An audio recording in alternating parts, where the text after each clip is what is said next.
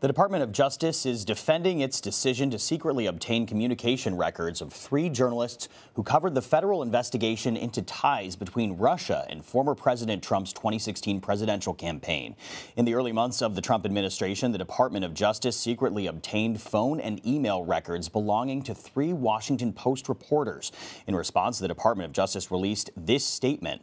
While rare, the department follows the established procedures within its media guidelines policy when seeking seeking legal process to obtain telephone toll records and non-content email records from media members as part of a criminal investigation into the unauthorized disclosure of classified information.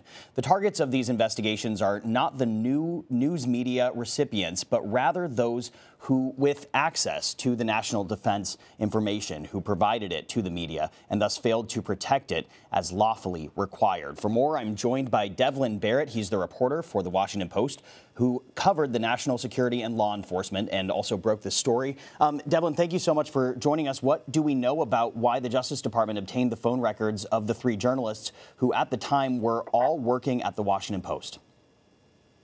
So what we know is that they targeted phone conversations from April of 2017 to the end of July of 2017.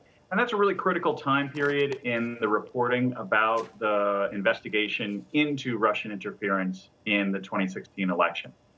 So we know that they are targeting, they are essentially looking for sources. They're source hunting in the reporter's phone record. And obviously that's uh, greatly concerning to our executive editor. Uh, and it it is, but it is part of a broader pattern in which the government sometimes goes fishing in reporters' phone records to try to find and identify sources.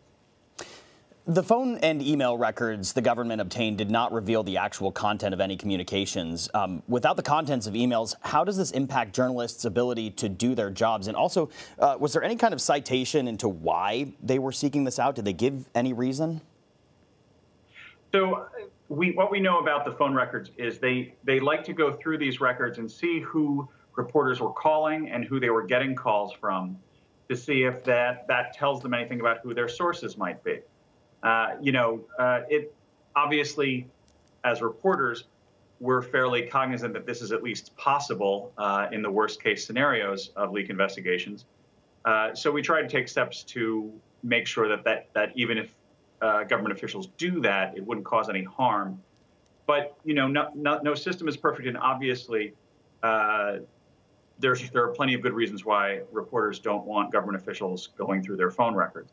As to, uh, sorry, your second question was about um, what they what might have sparked this. We know that in that time period, toward the end of that time period, there was a story that those three reporters wrote about U.S. intelligence intercepts in which the, the then Russian ambassador discussed his conversations with Jeff Sessions, the man who was a U.S. Senator and became the Attorney General. Uh, we also know that they did plenty of other reporting on sort of the classified nature of some of the uh, U.S. intelligence gathering on Russian election interference. And what's obviously a concern for reporters who were working in that time frame is that you know the phone records could show uh, you know, give some more clues as to who was providing information about a really important topic to the public, which is how much did Russia do? Uh, what was Russia's role in our election? Now, the Justice Department has said that they were not targeting journalists, but, quote, those with access to the national defense information who provided it to the media and thus failed to protect it as lawfully required, end quote. Uh, does national security justify these searches? Well, certainly, you know, I think it, you have to take pause and ask is it worth uh, the public's right to know to go hunting for these records. I think I think that is that is the debate that always happens when the when the Justice Department does this. Um, you know, obviously, I think it, I think most people would agree that what Russia did in 2016 and what the U.S. government knew about Russia was what Russia was doing in 2016 is a topic of tremendous public interest. Uh, so the government's view is that, well, if there's classified information out there, we have to hunt down uh, the nature and who, who shared that. To be honest, I think as a reporter, what you see oftentimes is that people start, government agencies start leak investigations not necessarily because of classified information, but because a particular piece of information angers them or embarrasses them. Uh, and that is a concern, uh, certainly, whenever you're talking about leak investigations.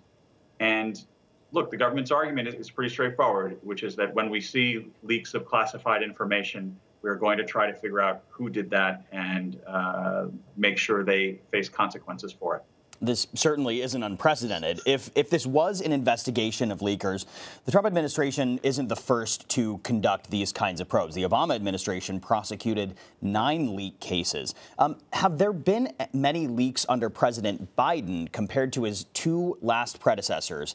And how is the administration handling leaks? So what we've seen so far is that this administration is defending how they went after the phone records uh, in the Washington Post case. Uh, as as our executive editor said, that's that's deeply troubling, and he's asked for more information as to why they felt this was necessary. I do think that this is as as many leaks as there were during the Trump era, and there were a ton, especially in that early stage in that in that 2017 period. Uh, leaks are not unique to any administration, and leak hunts are not unique to any administration. I think what you've seen over the years is from Bush to Obama to Trump, and now to Biden, there has been a culture of leak hunting built inside uh, the Justice Department and the FBI. So this is, in some ways, a, a permanent uh, footing that they're on to hunt for leakers.